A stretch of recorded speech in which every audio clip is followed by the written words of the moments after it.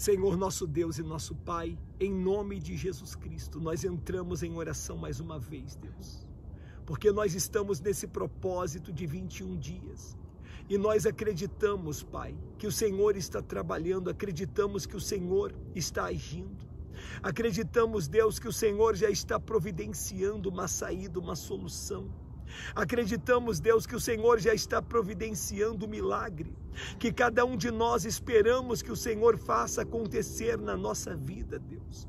Pai, eu te peço, por favor, estende agora as tuas mãos, estende agora, Deus, o teu poder em direção à vida de cada pessoa, Pai, que está aflita, que está angustiada, que está desesperada. Senhor, faça a tua presença, faça o teu espírito agora tocar na vida de cada pessoa, meu Pai, que está completamente perdida. Meu Pai, eu te peço, visita cada pessoa que agora não sabe mais o que fazer, porque já bateu em várias portas, já pediu ajuda em vários lugares, e no entanto, ao invés da situação melhorar, a situação só tem piorado, os problemas só têm aumentado, só tem se agravado, Pai, a situação.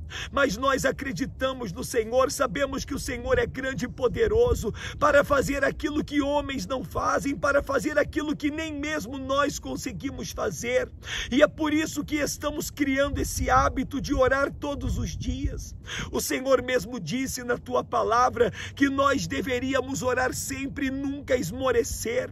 Então, Pai, nós estamos aqui te clamando noite e dia, estamos jejuando, subindo o monte, apresentando a causa, o problema, a dor, o sofrimento de cada pessoa.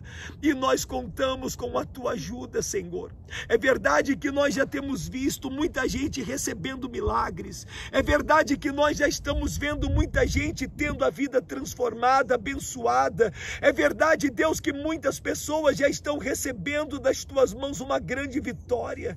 Mas tem gente, Deus, que ainda não recebeu, tem gente que ainda nem sequer viu um pequeno sinal, tem gente que ainda nem sequer viu acontecer nada na vida delas, Pai. E essas estão afundando como Pedro estava afundando, e essas estão esmorecendo como Pedro estava esmorecendo. Então eu te peço, Senhor, entra em ação agora, entra, meu Pai, com providência, tocando na vida do marido, na vida do filho, da esposa, tocando, Deus, nessa família, quebrando, Senhor, essa maldição. Entra, Pai, com providência agora, removendo essa enfermidade, essa doença, essa dor. Tem gente, Deus, que precisa pagar uma conta, tem gente que precisa comprar comida para dentro de casa, tem pessoas, meu Pai, que estão devendo para o agiota e o agiota não perdoa, ele quer, meu Deus, o dinheiro, ele ameaça. Então eu te peço, Senhor, estende as tuas mãos, olha, Deus, para o sofrimento, para a dor, para a tristeza, para a agonia e faz acontecer, meu Deus, aquilo que somente o Senhor sabe fazer acontecer, que é um milagre.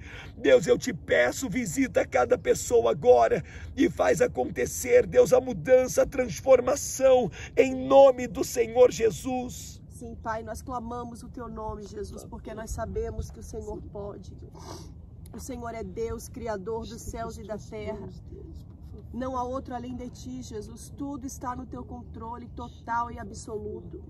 O Senhor é soberano, o Senhor tem acesso aonde o homem não tem. Por isso que nós dobramos os nossos joelhos aqui, Senhor, aos teus pés, que é o lugar mais alto que nós podemos chegar.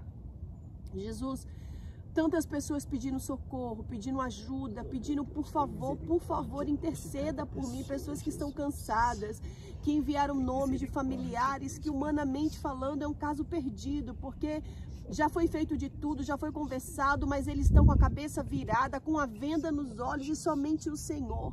E é por isso que nós dobramos os nossos joelhos, porque nós não podemos fazer nada, mas estamos recorrendo àquele que pode, àquele que faz, àquele que é poderoso, àquele que tem acesso aonde os médicos não têm, aonde o psicólogo não tem, o Senhor tem, Senhor Jesus. Então toca na alma, toca, meu Deus, para remover esse sentimento de indiferença que tem feito toda a família sofrer com rejeição com os filhos, indiferença com a esposa. Senhor, toca com as tuas mãos e arranca esse sentimento, meu Deus, do mal que o diabo colocou, plantou para separar essa família. Jesus toca nesse corpo e arranca essa enfermidade. Remove, Jesus, remove as dores, as doenças. Eu sei que agora, nesse momento, o Senhor pode tocar para curar, o Senhor pode tocar para libertar, o Senhor pode tocar para abrir portas.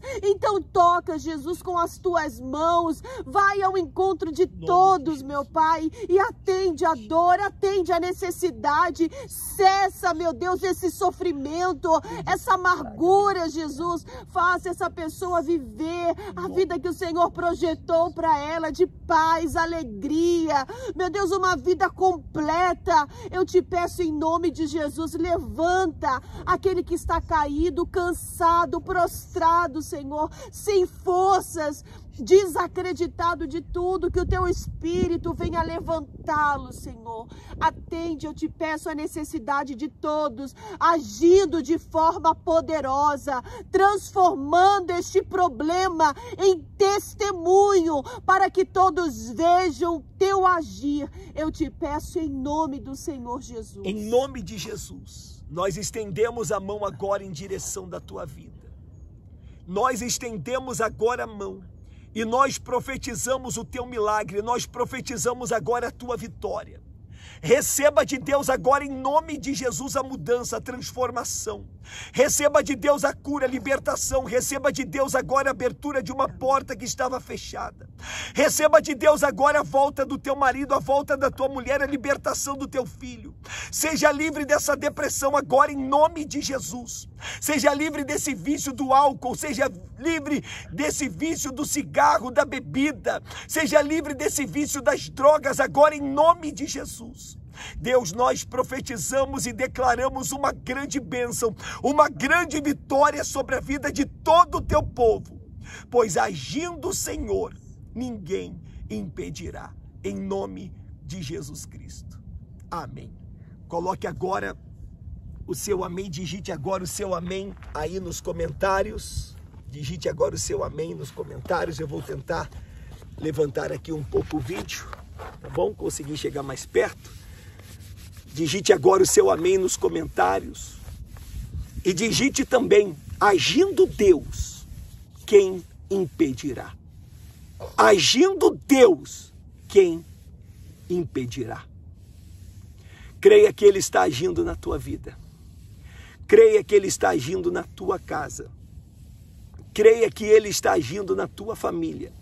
Creia que Ele está agindo no teu casamento. Creia que Ele está agindo na tua vida sentimental. Você que nunca foi feliz. Você que nunca foi feliz. Você que nunca pôde experimentar da bênção sentimental. Receba das mãos de Deus agora essa vitória, essa bênção, em nome de Jesus. Seja livre de qualquer enfermidade, de qualquer doença que esteja no teu corpo.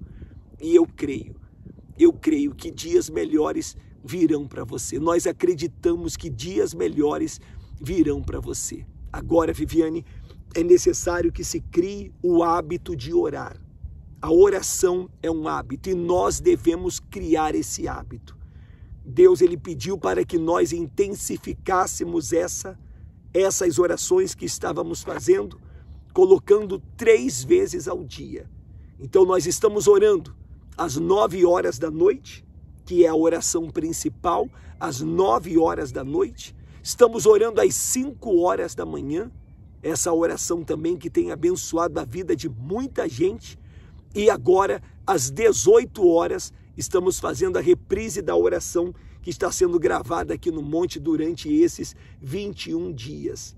Essa irmã, esse irmão não pode deixar de orar. É necessário criar esse hábito, pois Jesus disse sobre a necessidade de orar sempre e nunca esmorecer. É verdade, muitas vezes nós fazemos somente aquilo que temos vontade.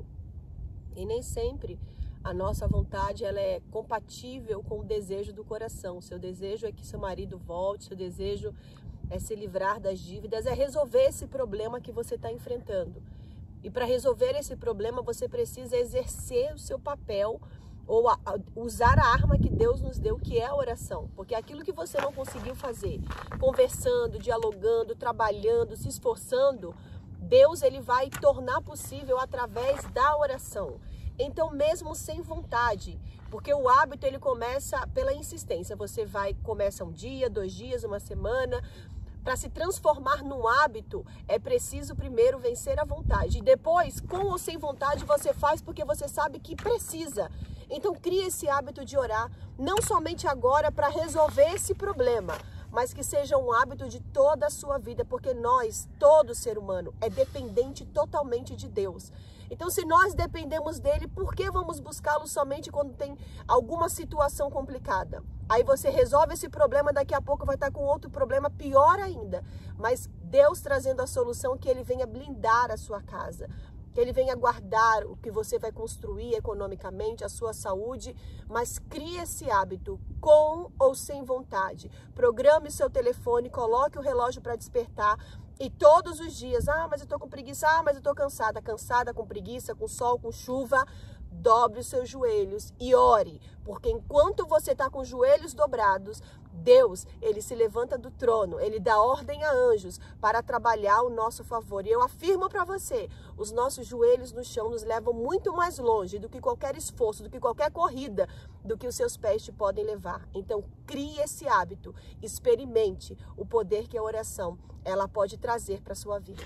Uma coisa muito importante, se inscreva no canal. Nós precisamos que você esteja inscrita no nosso canal no YouTube. Acabando aqui a oração, você entra lá no YouTube e vai aparecer uma parte para você se inscrever. É só clicar, se inscreva, ativa o sininho para que você receba os nossos conteúdos. E eu vou te pedir hoje para você compartilhar essas orações com pelo menos três pessoas e que essas três compartilhem com mais três. Precisamos abençoar, ajudar muita gente que está numa situação triste. Conte conosco. Eu e a Viviane, eu e a minha família estamos orando por você e pela sua. Que Deus abençoe você e que você tenha uma excelente, é, um excelente final de dia. Que Deus abençoe e até às nove horas da noite, ao vivo, na nossa live poderosa de oração. Deus abençoe e espero você às nove da noite.